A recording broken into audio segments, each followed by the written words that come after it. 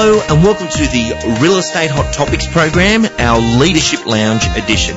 Today we're going to be tackling a very interesting topic. And topic is needing change.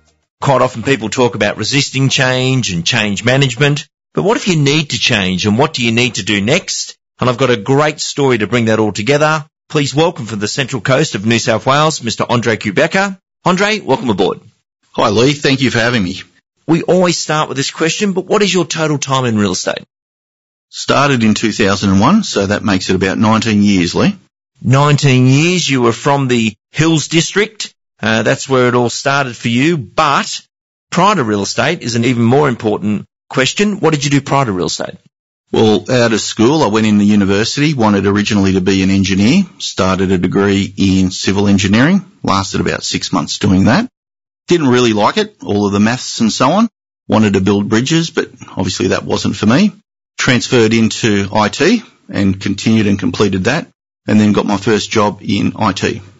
Now we've got an amazing story coming up today, but that all adds up to me of you've actually always been a modern management thinking person, whereas quite often from the real estate industry we see managements learn from the original principal selling person What's that different chip in the brain for you? Not really sure, Lee. I've always liked innovation, always liked new technology and a smarter, better way of doing things. Um, and I suppose that's been inbred in me over many years of my upbringing. I had my own very set uh, ways of looking at things and looking at um, how to continually improve. How would you describe your leadership or management style? Pretty much hands-on, um, lead by example, I love the situations where it's all hands on deck and you get down and dirty in the trenches with all of the team. And that's when you get a real true indication of who you got around you. And particularly coming out recently out of the COVID situation, it was quite interesting to observe the different personalities and characters involved. And not only how we handle that, but also how other organisations handle that. What have you learnt from your time in corporate then coming into something like the real estate industry, cottage industry, servicing the consumer. Like business to business is very different to business to consumer. And then learning the art of selling real estate to the level that you have. You've done very successful as auctioneering, real estate sales, leadership management. You've worn every hat through that time. But what's been your biggest shift of learning from corporate to residential real estate? I think the biggest shift for me is um, transitioning from a person that's on the tools, so to speak, actually out there doing it yourself to then the point of leadership.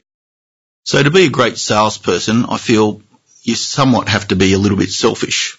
It is about you. It is about your performance. You're accountable to yourself. Often you're accountable to the leadership of the organization.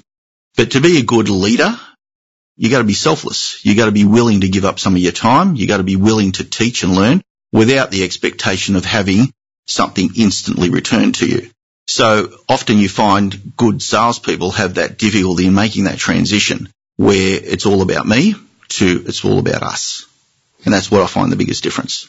Very interesting. And Andre, you're at corporate marriage, meaning you're running the sales and leadership side of the business and your incredible wife Samantha runs the property management business. Uh, I didn't mention the brands first up because that's going to be part of our topic today, but as we record today, how many offices, how many people, how many properties, just to give our listener an understanding of the organisation. Okay, so currently we're George Brand, and George Brand has eight residential sales offices and a strata office. We have decided to make a change, and um, our two offices, so that's one in Toukley and one in Terrigal, we will be known as Brand Property in the future. So um, we currently have a number of properties in the portfolio under rental. Um, we've got nine property managers, three leasing consultants, business development manager, and just recently we've appointed a general manager as well to try and tie everything in together. We've got, well, geez, at last count, 10 salespeople, including Samantha and myself. Um, and that fluctuates a little bit based on the time of market and, you know, performance and all of the rest of it. And then naturally the admin staff in and around that. And we also have five virtual assistants in the Philippines. Now, George Brand has been a very famous Central Coast brand for many, many years. You've had a huge innings there, 19 years with the George Brand organisation, which brings us to our topic, needing change. As a future leader coming through this new world, What was on your mind, and it must be on your mind for the last few years, of why change is going to be needed and the decision to change brand? Sorry, Lee, just a quick correction there. It's 15 years since with George Brand. 15? Yeah. So 15 years and look, we've been very loyal to George Brand as they have been with us. It's a great family type business, um, really great operators. Um, so making that decision to, you know, do our own thing into the future, it wasn't an easy one because they are all genuinely nice people and do a fantastic job. We're slightly different in that we've wanted to continue to innovate, continue to grow, and we've just found that um, you know it's hard to bring all of that together and continue our journey, which now probably needs to run parallel alongside them. It's not been a um, an awkward or a nasty separation. Um, I've still got a lot of respect for the leadership of the group as well as all of the principals there.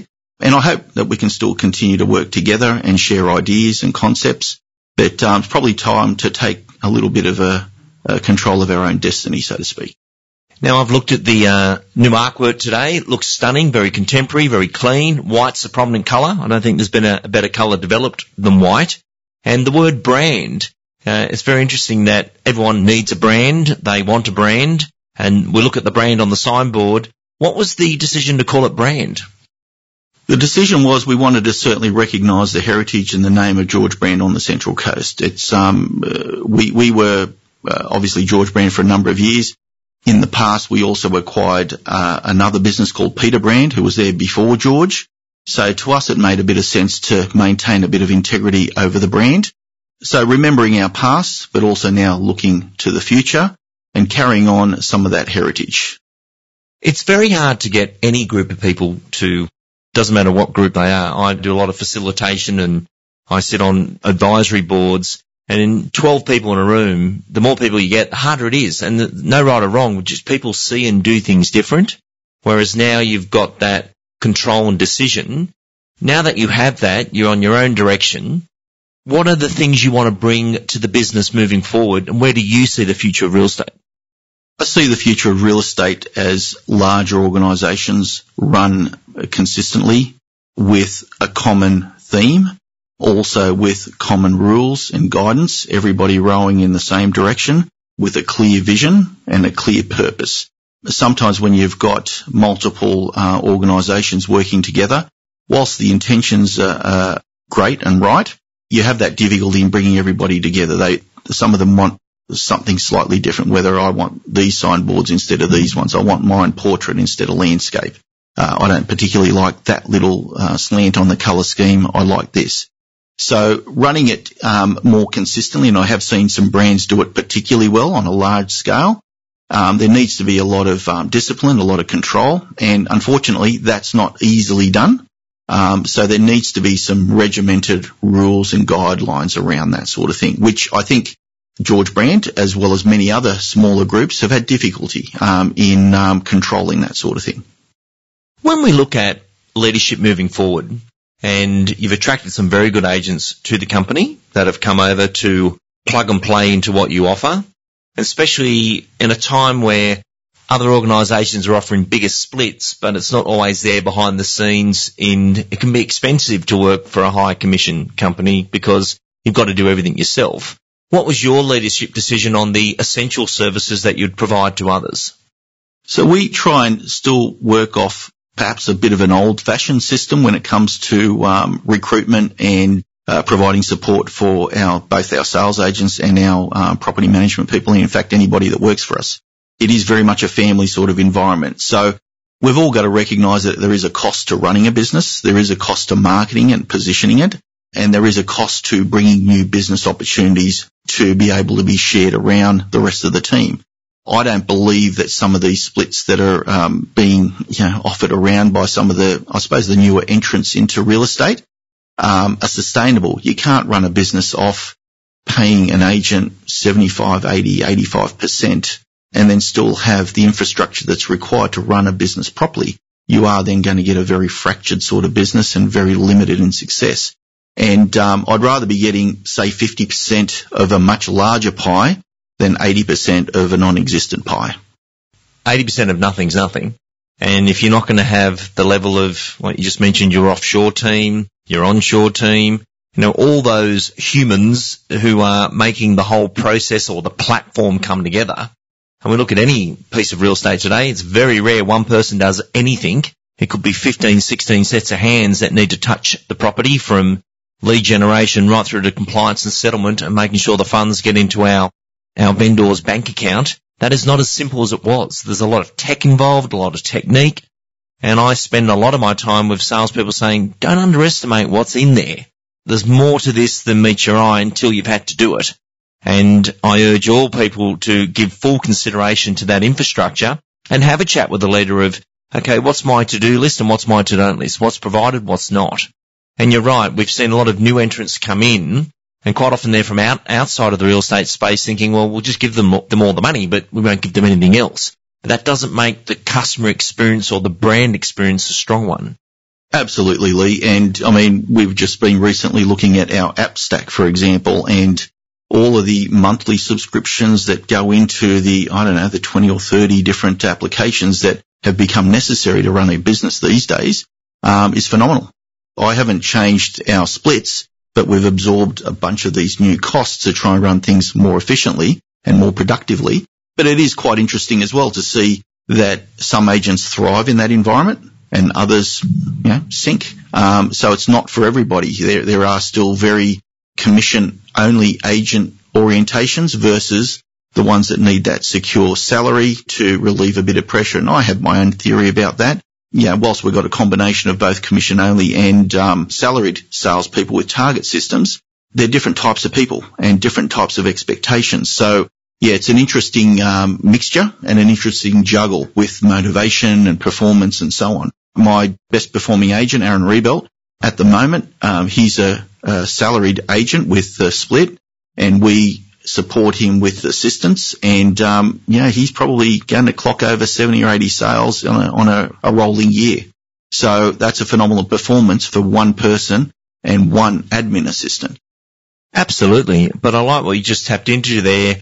Different people need different approaches. Mm. There isn't just one way to do it.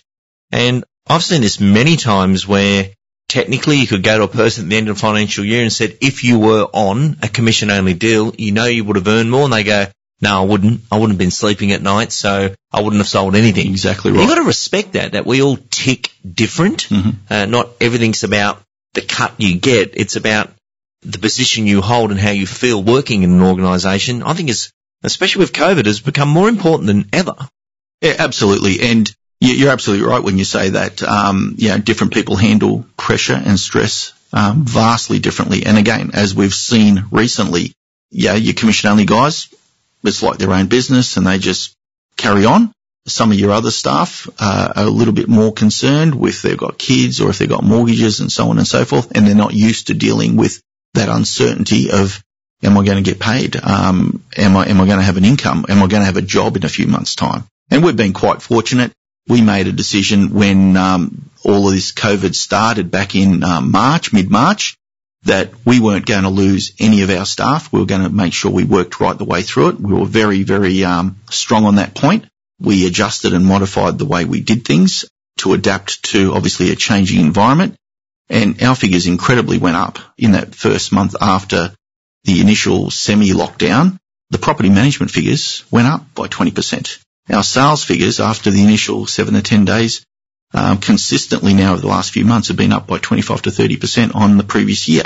So I found that a very interesting learning curve because what you thought and what you strongly thought turned out to be the complete opposite. Yeah, it's an amazing thing. And to me, I have a lot of salespeople at times because obviously I'm dealing with the salespeople every day in every way, anywhere from three to 500 a week. And sometimes I'll have a salesperson say to me, oh, Lee, but I could go here and earn more money. I go, yeah, just think about that because you're in a very protected environment at the moment. You haven't felt the pressure of where's that going to come from and it's not going to arrive for a period of time. And I know myself, I had a phenomenal sales career, but I was incredibly protected. My principal kept everything away from me. Uh, we had essential services. We were paid on exchange. I could do nothing but listen and sell real estate. And it's only that I look back now and think how protected I was by my leader to do what I do. Don't worry about any of this other stuff. You just do that one thing you do well, get in the lounge room and get people to say yes. But then you become a business owner and think, wow, I had no idea that was all going on. Where do you see, and this is a big broad question, but we're hearing a lot of rumbles out there in the jungle now about agent direct and the principals could be under threat. You know, how do you feel about that when we're seeing brands bring out direct selling systems for the agents? That's the million dollar question. Where, where is the industry going to go? I've had my own thoughts over a number of years actually. I think we're going to see basically two versions of a real estate practice or real estate business. You're going to have your larger organisations where they might employ a few hundred um, staff over, uh, you know, a spoken wheel type model where there's a head office and some satellite offices, which will have the economies of scale, which will be able to outsource, which will be able to take advantage of technology and the economies of scale. And then the other end will be the sole operator. That's a very good agent that might be a husband and wife team or a husband and assistant team that can work on minimal margins, work from home, save on overheads and still do very, very well. The difficulty will be to get from one to the other if you want to go that way without a significant investment. So um, with the way I think the, the whole industry is going, certainly locally here in New South Wales, with the legislations and the licensing requirements and so on, running a business is going to become more and more um, difficult, uh, more and more compliant, more and more regulated. And I support that actually because I feel that um, the more professional we become, the better the name of a real estate agent will be. I certainly consider myself on a similar sort of profession as a solicitor or an accountant or a financial advisor or planner. Whereas you sort of look around and maybe not everybody's on that same sort of level, but I'd love to see the industry known for that sort of standard of professionalism right across the board. So, um, yeah, the cost of doing business is certainly going to go up, hopefully to eliminate some of the, know, the ones that don't invest, the ones that kind of cut a few corners. Uh, that's where I sort of see it going. Yeah, good answer. And Andre, you enjoy business and then you happen to be in real estate, but you are a business person. And I've been able to observe you for many, many years, be it leadership conferences, you were just chatting today about something you picked up from one of our leaders from Sweden. Uh, you're looking internationally at what's going on, not just local, and you have that passion to be a good business person. The real estate space in the last six months, I'm absolutely fascinated and pleased of how many principals have decided to not continue on and plug into a company like yours because they know how hard it is to do the compliance and all the government data breaching, privacy acts. There's so much going on now that there's hardly any time to just sell real estate. So you've got to make that decision of, am I a professional real estate person who likes to service the purchasing and selling community or do I want to run a business? Now I know you've had the option or the need to do both, but you're quite clear on your business side of it and how you see a professional organisation moving forward. I, I remember back in 2001 when I went and did my certificate of registration up at Hornsby TAFE and the, the guy that was presenting the course made a comment that whenever you're looking at the value of a property, you look at it from a highest and best use perspective and you price it or value it or appraise it accordingly. I look at people much the same way. I sort of look at an individual and I look at what is their highest and best use within our environment sometimes you've got a sales agent that thinks they're a great sales agent, but they might not be a great sales agent. They might be a great assistant agent. They might be a good lead generator, but listing and selling might not be their best use. And it might be difficult for them to come to terms with that as well.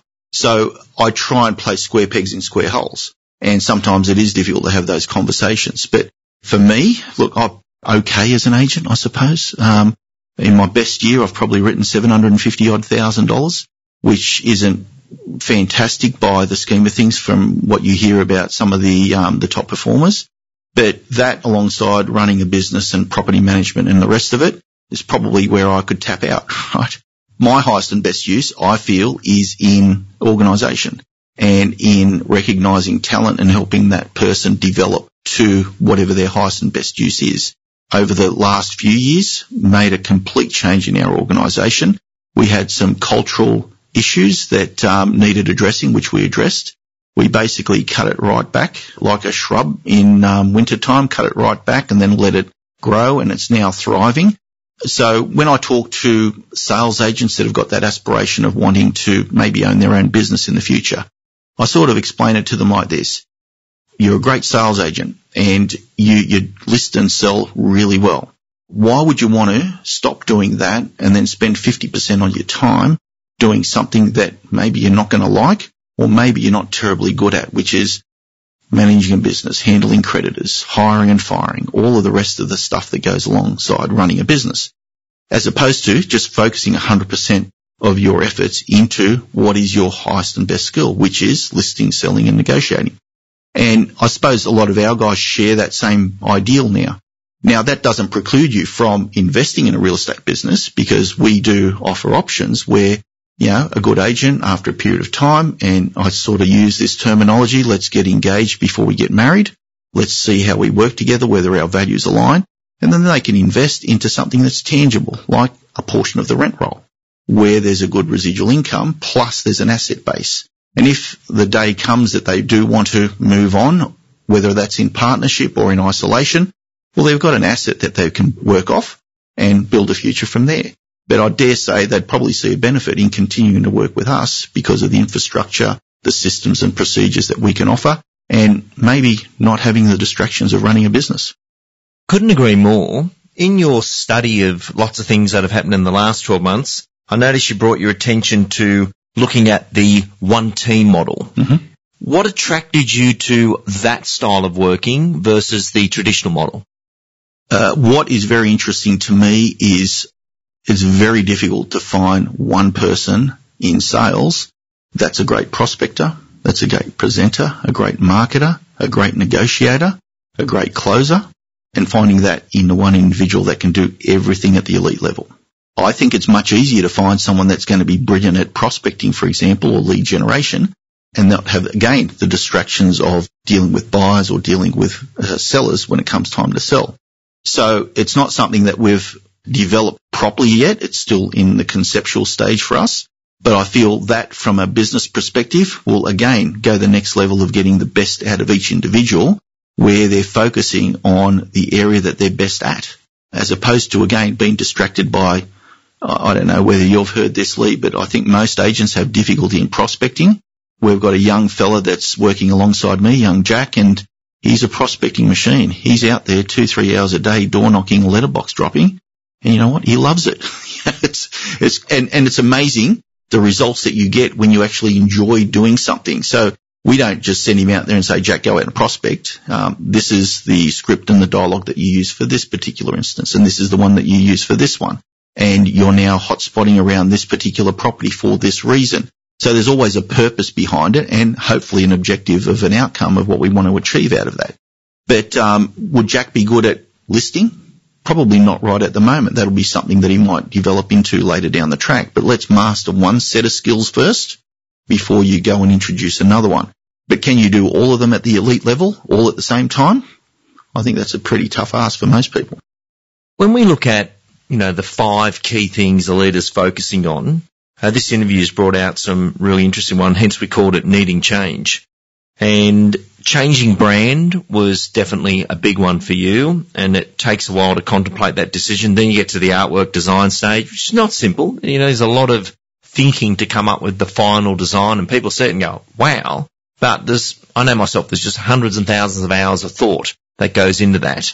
You're now looking at structural change of you know, a blended opportunity for people. You might have the, the brilliant solo operator, you might have the team-based EBU, effective business unit, or do we have some young talents coming through that get their master's degree as they come through lead generation to, uh, which what happened to a lot of the great agents, you got, you got a chance in lead generation and then after doing a few deals and seeing a few things, you get to move on, which is what we now call the leverage agent.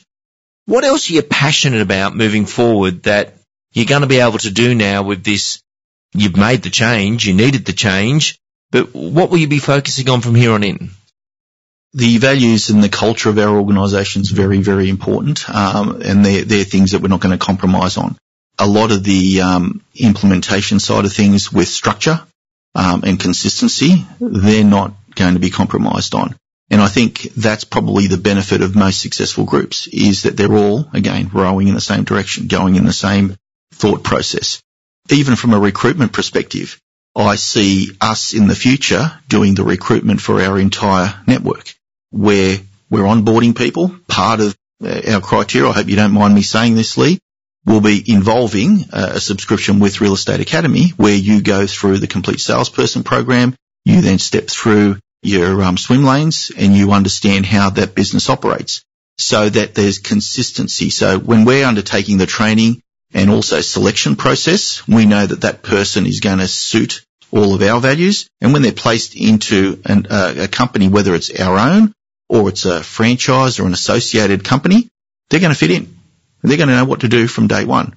And when they need a little bit of tweaking and a little bit of help along the way, well, we've got a structure there that can help them continue on with that as opposed to if it's the principal of the office that might be a listing and selling principal and more than likely is, they don't need to worry about that as much as what they would have if they're out on their own and going solo. So that's where I see our future going and the big benefit of, I mean, our, our plans and our vision, right? Bringing it all together and having one set of database, one way of doing things. Our Philippines team can get, just get added on and added on and they're all doing things in unison in the same way. So it's very easy to monitor, very easy to control, very easy to measure and making sure that it's consistent from a training perspective. Andre, how big will you take this?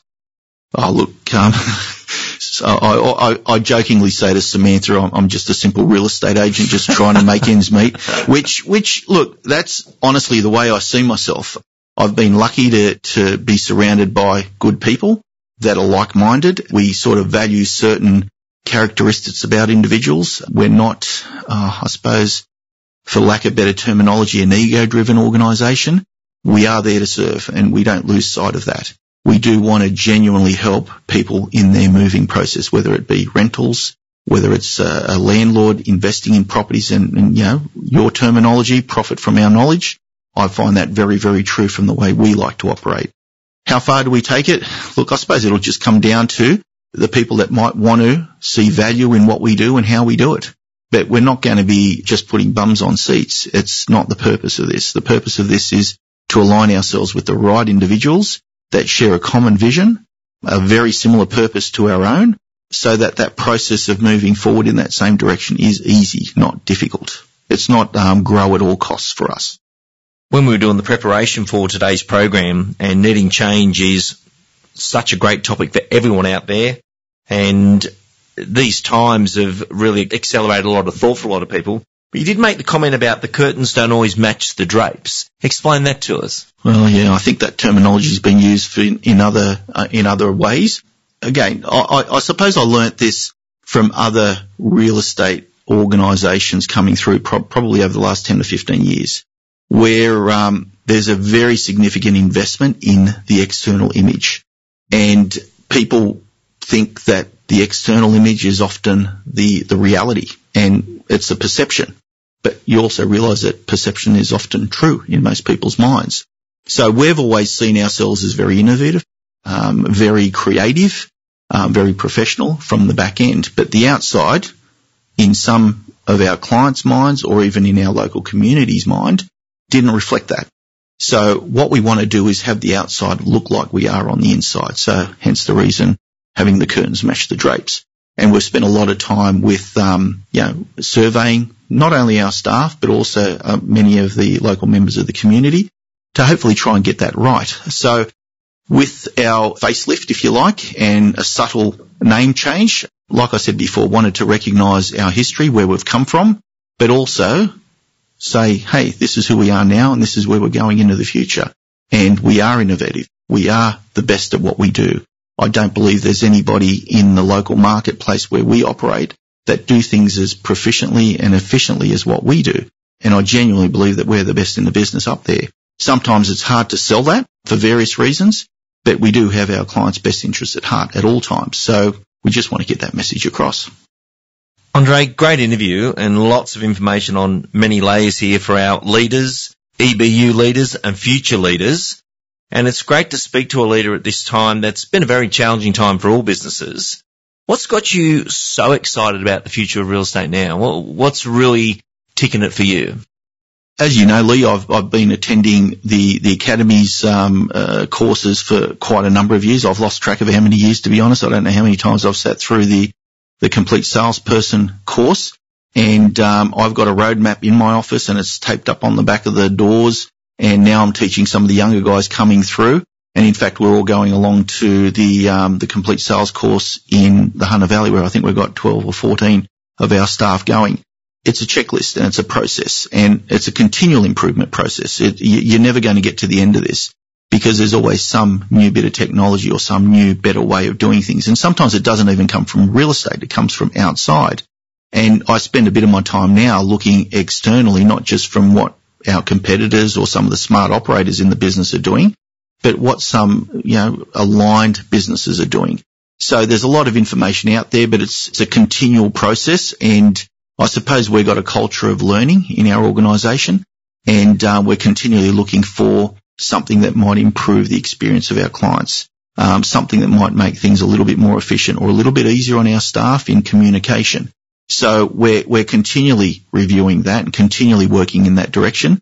Where do we see ourselves in the future from that perspective? Look, we're going to continue to learn. I don't think I did quite some time ago when I was transitioning between another training group to yours. And I can tell you what, it was black and white as far as the differences then, but you didn't know at that stage at how different training and, and information was to be the one thing I learned is you got to continue to learn. Otherwise, if you're standing still, you're actually being left behind. You're either moving forward or, mate, you're going out the back door. So we don't intend to be going out the back door anytime soon. Well, Andre, of the brand new brand group, love the artwork, love the decision. Great to see you passionate about what you're doing moving forward. Uh, you've already achieved so many things, but this is a great example of needing change. And I think a lot of people fear change. How people ring me leaking help us with change management. And you think, yeah, we can, but change is good. Change is not bad. And so many people think, oh, but I don't want to change. You can't think that way if you're progressive. But as you said, to be left behind, and every day, everything you do when you go to work, you're either adding or you're subtracting. And I know myself, uh, especially in this new digital age from being a touring seminar speaker to that being ended to what will I do now, I've learned so many things in the last four weeks that it's really exciting that you can learn so much in the last 14 weeks. You're doing it on a leadership level. We look forward to seeing the continued success, but I want to thank you for coming in and appearing on Real Estate Hot Topics. Thanks, Lee.